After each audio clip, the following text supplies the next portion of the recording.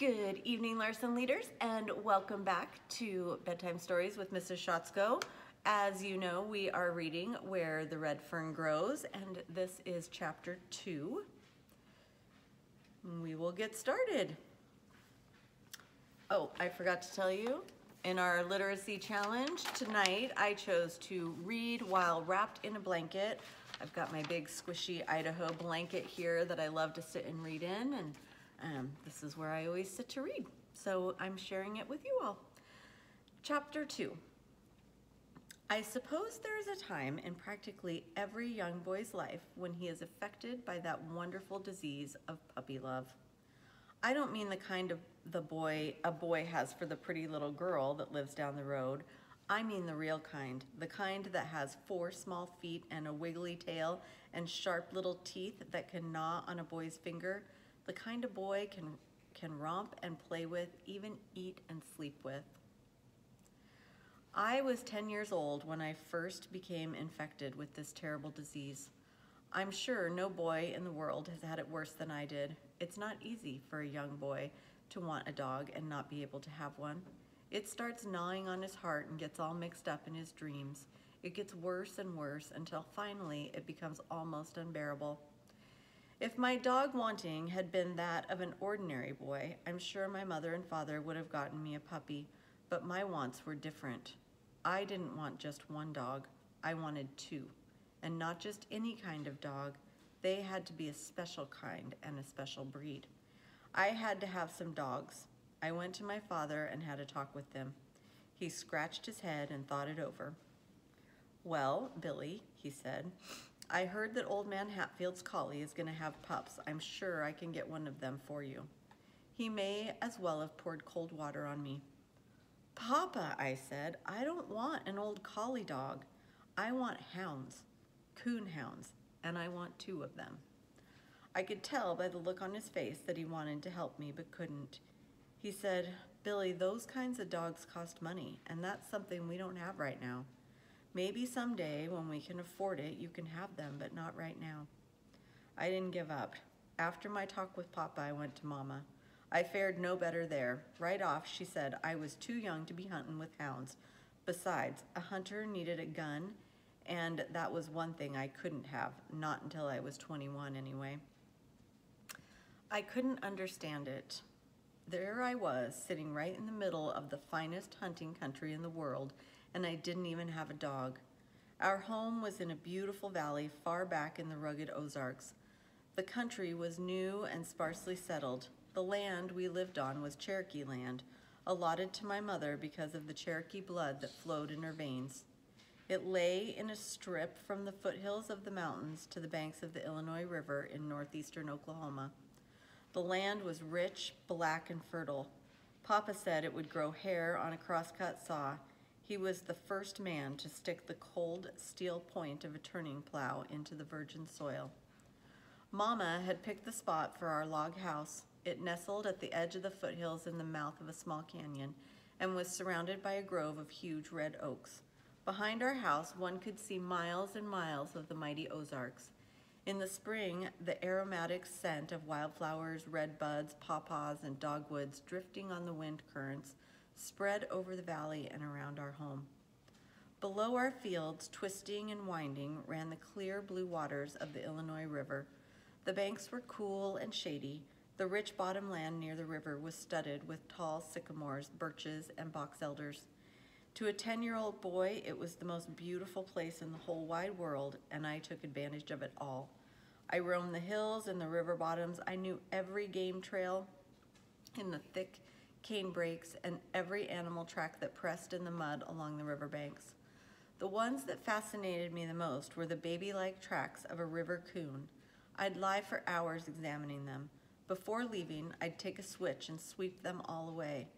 These I called my trail looks. The next day, I'd hurry back, and sure enough, nine times out of ten, there in the clean, clean swept ground, I would again find the tracks of a ringtail coon.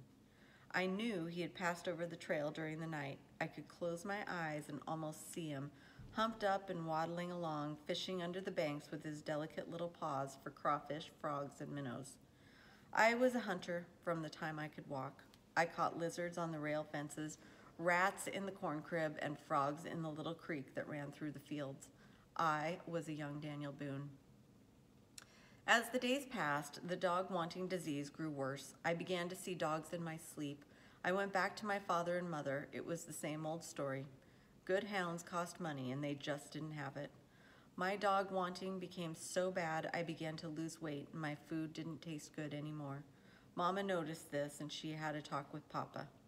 You're gonna have to do something, she said. I never saw a boy grieve like that. It's not right. Just not right at all.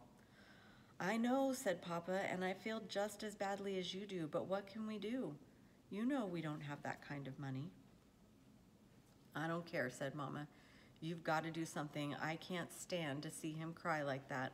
Besides, he's getting to be a problem. I can't get my work done. He follows me around all day long, begging for hounds. I offered to get him a dog, said Papa, but he doesn't want just any kind of dog. He wants hounds, and they cost money. Do you know what the Parker boys paid for those two hounds they bought? $75. If I had that much money, I'd buy another mule. I sure do need one. I had overheard this conversation from another room. At first, it made me feel pretty good. At least I was getting to be a problem. Then I didn't feel so good. I knew my mother and father were poor and didn't have any money. I began to feel sorry for them and myself. After thinking it over, I figured out a way to help. Even though it was a great sacrifice, I told Papa I had decided I didn't want two hounds. One would be enough. I saw the hurt in his eyes and it made me feel like someone was squeezing water out of my heart. Papa set me on his lap and we had a good talk. He told me how hard times were and that it looked like a man couldn't get a fair price for anything he raised. Some of the farmers had quit farming and were cutting railroad ties so they could feed their families. If things didn't get better, that's what he'd have to do. He said he'd give anything if he could get some good hounds for me, but there didn't seem to be any way he could right then. I went off to bed with my heart all torn up in little pieces and cried myself to sleep. The next day, Papa had to go to the store. Late that evening, I saw him coming back.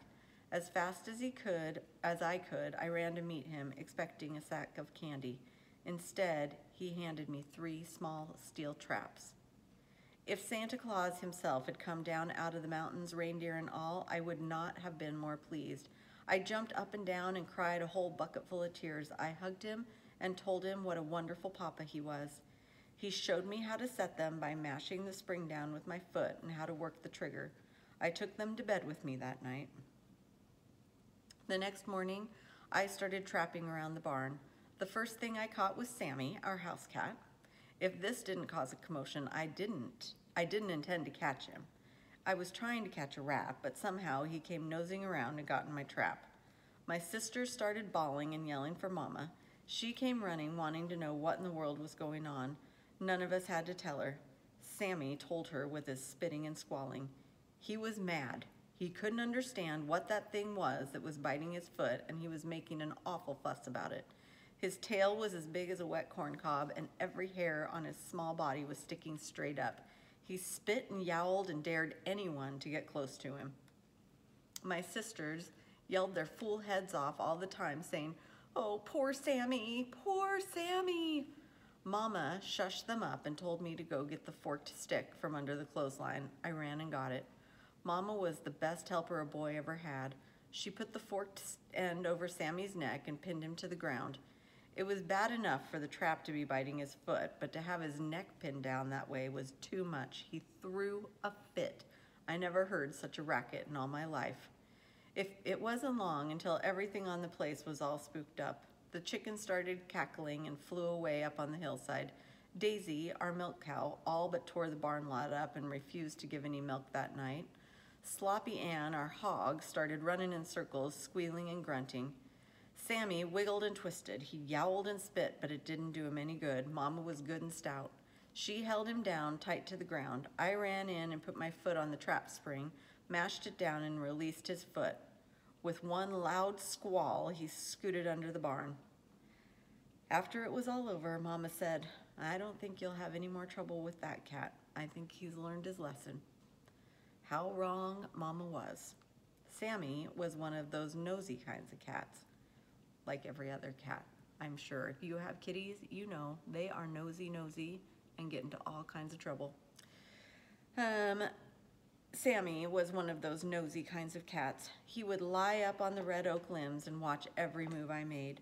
I found some slick little trails out in our garden under some tall hollyhocks, thinking they were game trails and not knowing they were Sammy's favorite hunting trails. I set my traps.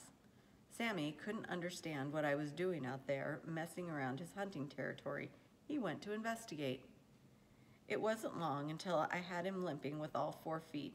Every time Papa saw Sammy lying around in the warm sun with his feet wrapped up in turpentine rags, he would laugh until big tears rolled down his cheeks.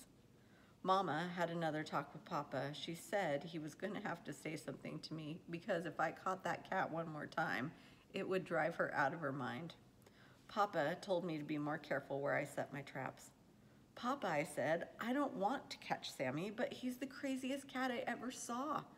He sees everything I do and just has to go sniffing around. Papa looked over at Sammy. He was lying all sprawled out in the sunshine with all four paws bandaged and sticking straight up. His long tail was swishing this way and that. You see, Papa, I said, he's watching me right now, just waiting for me to set my traps. Papa walked off toward the barn. I heard him laughing, fit to kill. It finally got too tough for Sammy. He left home. Oh, he came in once in a while, all long and lean looking, but he never was the same friendly cat anymore. He was nervous and wouldn't let anyone pet him. He would gobble down his milk and then scoop for the timber. Once, I decided to make friends with him because I felt bad about catching him in my traps. I reached out my hand to rub his back. He swelled up like a, like a sitting hen. His eyeballs got all green and he growled way down deep. He spat at me and drew back his paw like he was going to knock my head off. I decided I'd better just leave him alone. In no time at all, I had cleaned out the rats. Then something bad happened. I caught one of Mama's prize hens. I got one of those young man peach tree switchins over that. You know what that is. Made him go get his own switch from the peach tree and they did a little whooping on his rear end. Papa told me to go down into the cane brakes back of our fields and trap. This opened up all kinds of new wonders. I caught opossums, skunks, rabbits, and squirrels. Papa showed me how to skin my game. In neat little rows, I tacked the hides on the smokehouse wall. I'd stand for hours and admire my magnificent trophies. There was only one thing wrong. I didn't have a big coon skin to add to my collection. I couldn't trap old Mr. Ringtail. He was too smart for me. He'd steal the bait from the traps, spring the triggers, and sometimes even turn them over. Once, I found a small stick standing upright in one of my traps. I showed it to Papa. He laughed and said the stick must have fallen from a tree. It made no difference what Papa said. I was firmly convinced that a smart old coon had deliberately poked that stick in my trap. The traps helped my dog wanting considerably, but like a new toy, the newness worn off. And I was right back where I started from, only this time it was worse, much worse. I had been exposed to the feel of wildlife. I started pestering Mama again. She said, Oh no, not that again. I thought you'd be satisfied with the traps. No, Billy, I don't want to hear any more about those hounds. I knew Mama meant what she said. This broke my heart. I decided I'd leave home. I sneaked out a quart jar of peaches, some cold cornbread, and a few onions and started up the hollow back of our house. I had it all figured out. I'd go away off to some big town, get a hundred dogs, and bring them all back with me. I made it all right until I heard a timber wolf howl. This stopped my home leaving. When the hunting season opened that fall, something happened that was almost more than I could stand. I was lying in bed one night trying to figure out a way I could get some dogs when I heard the deep baying of a coonhound. I got up and opened my window. It came again. The deep voice rang loud and clear in the frosty night. Now and then I could hear the hunter whooping to him. The hound hunted all night. He quit when the rooster started crowing at daybreak. The hunter and the hound weren't the only ones awake that night. I stayed up and listened to them until the last tones of the hound's voice died away in the daylight hours. That morning, I was determined to have some hounds. I went again to Mama. This time I tried bribery. I told her if she'd get me a hunting dog, I'd save the money I earned from my furs and buy her a new dress and a box full of pretty hats. That time I saw tears in her eyes. It made me feel all empty inside, and I cried a little too. By the time she was through kissing me and talking to me, I was sure I didn't need any dogs at all. I couldn't stand to see Mama cry. The next night, I heard the hound again. I tried to cover my head with a pillow to shut out the sound. It was no use. His voice seemed to bore its way through the pillow and ring in my ears. I had to get up and again go to the window. I'm sure if that coon hunter had known that he was slowly killing a 10 year old boy, he would have put a muzzle on his hound. Sleep was out of the question. Even on nights when I couldn't hear the hound, I couldn't sleep. I was afraid if I did, he would come and I would miss hearing him. By the time hunting season was over, I was a nervous wreck. My eyes were bloodshot and red. I had lost weight and was as thin as a beanpole. Mama checked me over. She looked at my tongue and turned back one of my eyelids. If I didn't know better, she said, I'd swear you weren't sleeping well. Are you? Why, Mama, I said, I go to bed, don't I? What does a boy go to bed for if it isn't to sleep? By the little wrinkles that bunched up on her forehead, I could tell that Mama wasn't satisfied. Papa came in during one of those inspections. Mama told him she was worried about my health. Ah, he said, there's nothing wrong with him. It's just because he's been all cooped up all winter. A boy needs sunshine and exercise. He's almost 11 now, and I'm going to let him help me in the fields this summer. That will put the muscles on it, back on him. I thought this was wonderful. I'd finally grown up to be a man. I was going to help Papa with the farm. Well, that is it, Larson Heights. Have a wonderful evening, and I will see you again tomorrow evening for chapter three of Where the Red Fern Grows. Good night.